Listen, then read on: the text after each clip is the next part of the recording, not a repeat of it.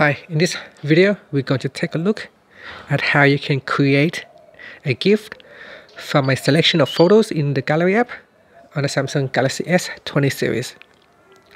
Now first tap on the home key to go back to your home screen and in here swipe up to go into the app screen.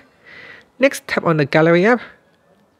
In the gallery go to the pictures tab or the albums tab and we want to select the photos that you want to include in the animated GIF picture. So say I want to select this seven photos and I'm going to tap on the menu key or the option key at the top and tap on create GIF or GIF. And down here are a number of th different things that you could uh, change. So you can see here I can tap on the timeline. So tap on the timeline and you can see each of the different photo you can also tap on this ratio button to change the ratio of your image or the GIF. So you got 1 to 1, uh, 4 to 3, 3 to 4, 16 to 9, or 9 to 16. So and is a drag an image to adjust the area shown.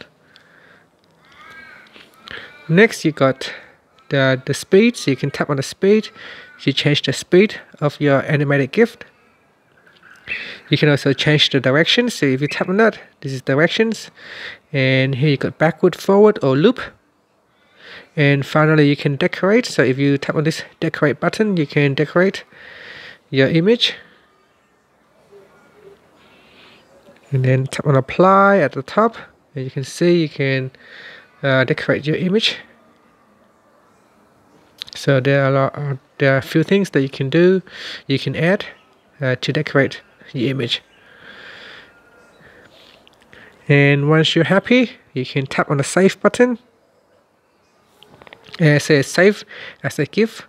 So we go back here to the top and you can see this is a GIF image.